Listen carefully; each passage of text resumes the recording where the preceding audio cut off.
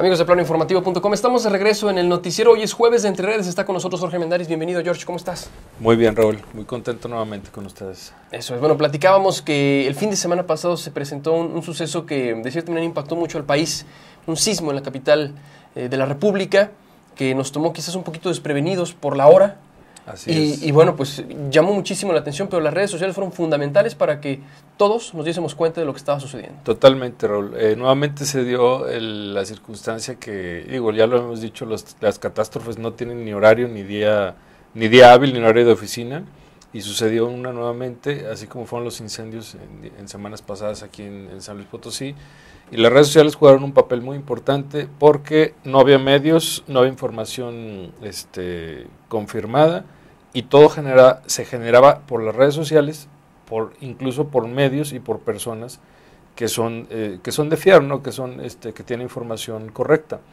Pero en esas horas que transcurrieron no hubo absolutamente información más que en redes sociales. Incluso en algunos casos se fueron la luz en algunas zonas del DF y todo, todo fue la información por medio de las redes sociales y, y afortunadamente fue así, porque si, si pensáramos que, no, que no existieran las redes sociales, imagínate tú que te dicen que tiembla en México y no hay manera de comunicarte con un familiar, saber qué, qué dimensión tiene, porque incluso se habló de que eran 5.6 creo grados eh, en la escala que se manejan los temblores y, y definitivamente eh, esto nos, nos dio tranquilidad a las personas pues que tenemos familiares y que quisimos pensar eh, en la gravedad de este fenómeno.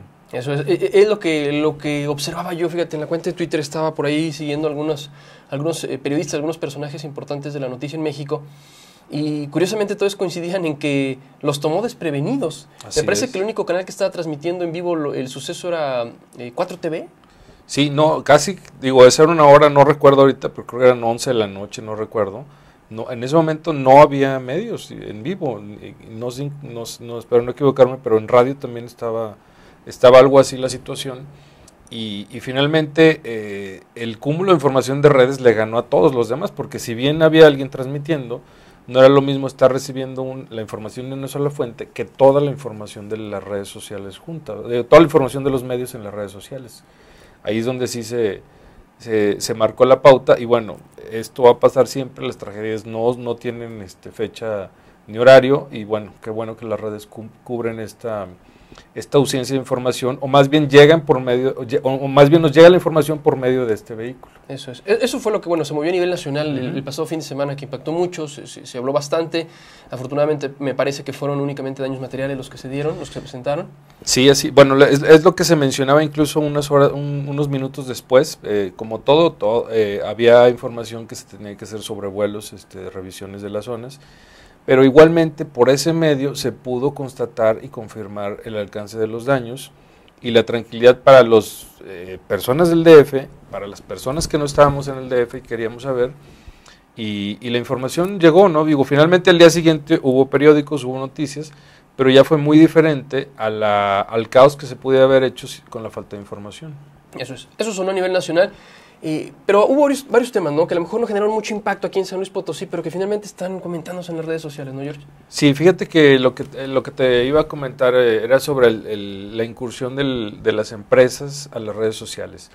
Eh, hace una semana nos, nos tocó, nos invitaron a participar en una, pues se puede decir, campaña para promocionar un evento y, y ya se está viendo más la incursión de las de las empresas o, del, o, de los temas comerciales en las redes sociales. Tú lo ves en Facebook, que está muy saturado de este, de este tema, pero hay, hay redes como YouTube o como Twitter que normalmente no, eran, no era su perfil, pero lo están generando porque las, las empresas, este, tú te das cuenta cuando llegas a un restaurante, todo el mundo está viendo su smartphone y bueno, ya es difícil que les mandes la información por un espectacular, que se las mandes por un este, spot de radio, televisión, y hay que, hay que llegar por el medio, ¿no? Y el medio es la, el Internet y las redes sociales. Esa incursión que, que, se está presentando aquí en San Luis eh, a nivel nacional y a nivel mundial también este, eh, es una pauta que van a tomar medios que normalmente no lo hacían, lo van a hacer por, por el interés que hay de negocio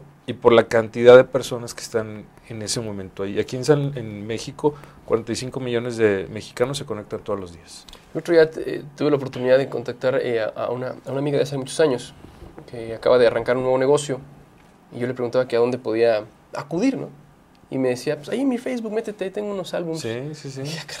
Y. Y sí, realmente tenía álbumes con cientos de fotografías de los productos que ofrece y me llamó mucho la atención decir, bueno, eh, es increíble cómo primero conoces el negocio a través de la red social y quizás hasta después lo puedas conocer a lo mejor de manera física, ¿no? Sí, fíjate que es una, es una circunstancia que nos está alcanzando. Y hoy te puedo decir, como lo platicé hace un- unos momentos en otro lugar, que, que Twitter y Facebook son dos herramientas muy, muy fuertes que igual las utilizan las empresas, los utilizan los gobiernos, los utilizan todas las personas oficialmente, digo, en cualquier publicidad lo vas a ver como, como un uso, y que en base a eso se van a, a lo mejor se van a buscar eh, verificar y, y va a ser una, digo, va a ser una herramienta que todos van a usar finalmente. Eso es. George, pues muchísimas gracias. No, pues gracias a ustedes. Nos vemos aquí el próximo jueves. Nuevamente el jueves. Entre redes, primero Dios. Gracias. Vamos a una breve pausa, continuamos. Estamos en planoinformativo.com.